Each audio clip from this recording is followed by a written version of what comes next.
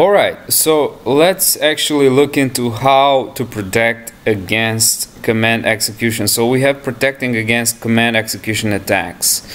Now, there isn't, uh, there are quite a few things attached to it. If an attacker can execute arbitrary code on your servers, your systems are almost certainly going to be compromised. You need to take great care when designing how your web server interacts with the underlying operating system. So the risks for such attacks, the prevalence is pretty common, especially nowadays with all sorts of new attack vectors, especially when it comes to ser cloud servers, cloud security, cloud functions all of that kind of stuff, the attack vectors have multiplicated vastly, even though you might think so. Even though you might think that's actually different, it actually, um, they are more and more prevalent. Exploitability is actually moderate, and the impact is, as it says here, quite devastating.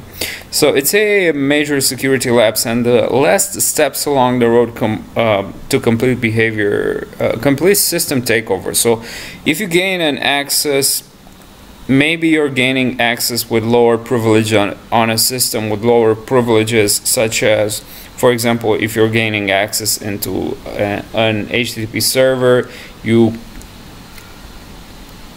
via a uh, application security vulnerability then um, or application vulnerability then your uh, access levels would be with lower privileges but uh, then you the next step you will do is actually try to attempt to escalate your privileges install malicious scripts or make your server part of a botnet which is a very common practice Command injection vulnerability often occurs in older legacy code such as CGI scripts. Not only that, but often occur in, um, as I've said, new environments as well and new settings as well. If your application calls out to the operating system, you need to be sure command strings are securely constructed or else you risk having malicious instructions injected by an attacker. So how to protect? Try to avoid command line calls altogether. Modern programming languages have interfaces that permit you read files and emails and perform other operating system functions without actually having to do uh, command line or system calls. Use API wherever possible, only use shell commands where absolutely necessary. This will reduce the number of attack vectors in your applications. Now, frameworks such as, I believe, Node and React do have their way with um, executing system commands via different uh, libraries escape inputs correctly. So Injection vulnerabilities often occur when untrusted input is not sanitized. So if you use shell commands, be sure to scrub up input values for malicious characters such as this, which would actually terminate the command and actually allow you to chain another command. This one as well, also the pipe and also the hyphen, I believe. Even better, restrict input by testing it against the regular expression of known safe characters, for example, alphanumeric characters. Now, you might look up regular expressions against command execution. So regex against command execution. Maybe we can find something on this.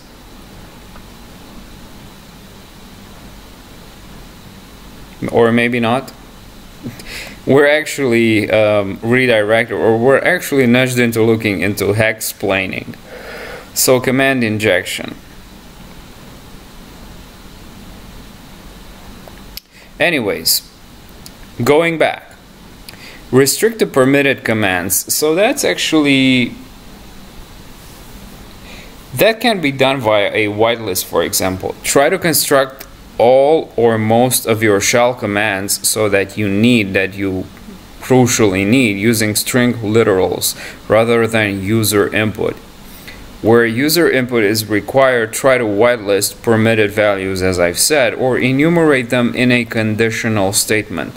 Now, perform thorough code reviews, check system calls for vulnerabilities. Now, for those who are actually doing penetration tests, most of automated code review testing will fail when it comes to such circumstances. And I do challenge you to prove me wrong in the comment section. So do if you know of an automated like solution for secure code review tell me all about it. Because I've tested a lot of them in my penetration testing uh, work. And what I found that the best way is to actually look manually through code and that gives me as a penetration tester as an application security tester this actually gives me much more satisfaction and greater joy when I find vulnerabilities. So uh, vulnerabilities often creep in over time. Make sure your team knows what to look for. And um, as a side note here, I've noticed that on YouTube, on my channel, uh, I've seen a lot of new people recently. So, uh, looking over into the analytics, I see that uh, there are a lot of newcomers who come from browser suggestions, who come from YouTube suggestions. So, if you're here for the first time, I would kindly ask you to give a like and subscribe and share this video with whoever you think it is worth sharing it with, like on your social media, and tag me all along on Twitter and on LinkedIn.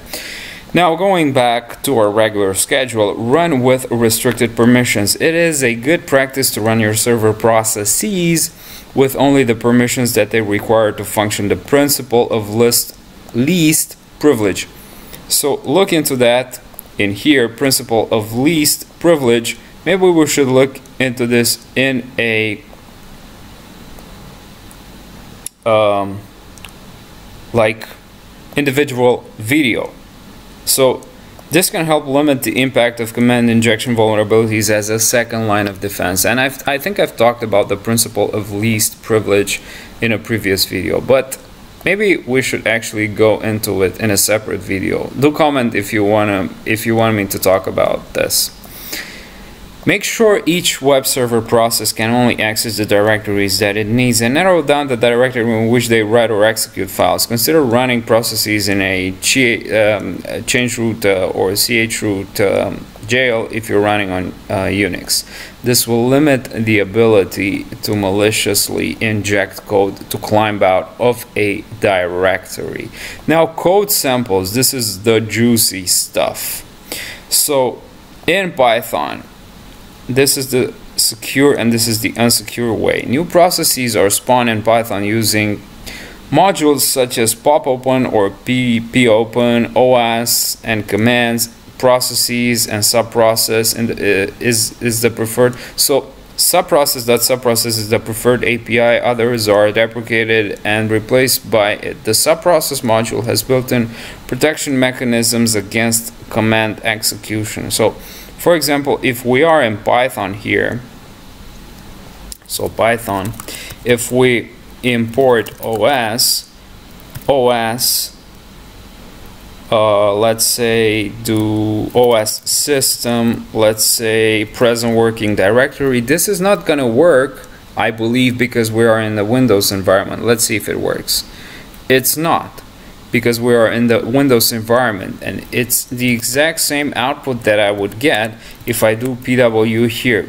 pwd is not recognized as an internal or external command but if I go back into Python and actually import import OS and then chain another command here OS system or I could just say let's see if it works with end end OS system dot uh, echo high, which should work.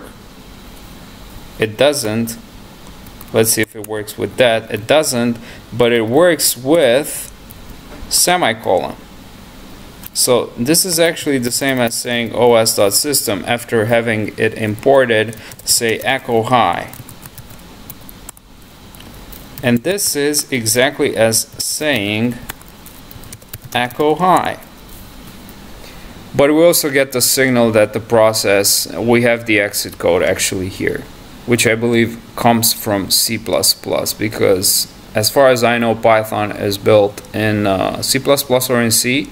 If I'm correct, If I'm not, the correction police should correct me in the comments section. So this protection can be disabled on the look be on the lookout for anything that opens a process in the following manner. So in this situation, if you say shell true disables command injection checking. So shell equals true if you're using the subprocess and if you're using the call method if you're using the um, the argument shell equals true, this actually is going to disable command injection. Let's see how with how we are with the time here. 10 minutes.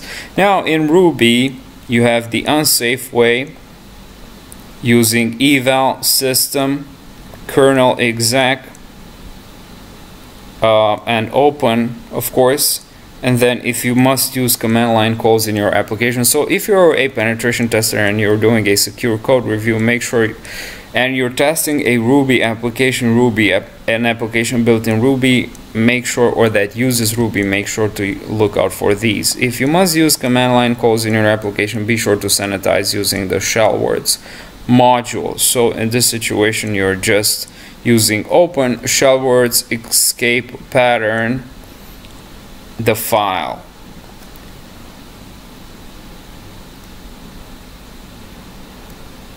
Alright, now moving on in Java, they only talk about, uh, so since Java is running a virtual machine, command line calls are generally discouraged. They can be executed using, so they can be executed safely using the Java lang runtime API, however. So runtime get runtime exec ls so if you're a penetration tester, you can add uh, this uh, keyword to your command execution keywords list. The call to exec will tokenize the input and make sure only a single command is run. Just be sure not to write your own tokenizer. .NET there are a couple of ways to access the command line in C Sharp through .NET, though uh, .NET um, has a comprehensive set of standard lines, so you will rarely need to do it, and this is how you do it. I don't know much about .NET, so this is not my thing. Node. So in a node, you're using the child process module. This is a wrapper around bin.sh, so concatenating uh, commands is actually discouraged, very discouraged. So Child process requires child process module or library, maybe module. Child process, this is how you execute ls minus l plus input path. This is uh, your injection vector. Now instead use one of the functions, so this is the unsafe way. Use one of the functions that take arrays as arguments. So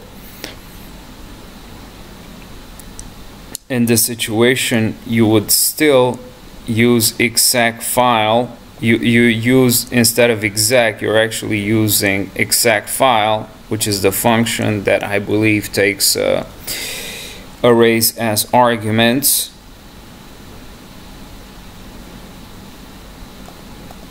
And I don't know why this is not displayed accordingly. And finally in PHP making command line calls is very fairly common and there are a number of ways to make them. You can use shell exec exec passthru system. So I believe in in our in our attack uh, video we've looked uh, via the system can actually recall. Now be careful to sanitize the inputs to any of these functions in PHP now in PHP since uh, apparently you might not in bare in bare bones PHP since you might not have any built-in functions for actually doing it safely you might actually look into the protection uh, so by escaping inputs by restricting permitted commands by always performing code reviews and also by looking to run your um, commands if the input is like in the middle with least privileges in mind. Now further reading a note about shell commands in Python, a guide to shell commands in Ruby, command injection in Ruby, command injection in Node. So this one, command injection in Node, I believe, no, just this one, comes from the cheat sheet from uh, I've at first I thought that it comes from the OWASP cheat sheets but it doesn't say so. So do look out or look at this GitBook because it appears to be interesting. So NodeGoat tutorial.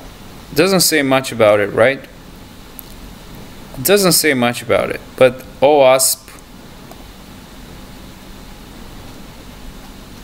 we get a weird redirection to GitBook so NodeGoat tutorial. Do actually look into this and maybe if I have time at some point in the future and if there is demand for this, I will be looking into it. I might just pin this for further notice in here. So that being said, this was command injection in um, a larger nutshell. Let's actually test ourselves. How could an attacker exploit a command uh, execution vulnerability? Set up a fake website that looks like your uh, site on a copycat copycat domain, summoning evil spirits, installing malicious code, and making your server part of a botnet. How would running your server in chroot jail limit the impact of command execution? By actually not allowing the user to get out of that directory. It forces users to accept terms and conditions before they continue. It increases uh, sentence length if you successfully prosecute. It restricts which directories the web server process can access, limiting the damage.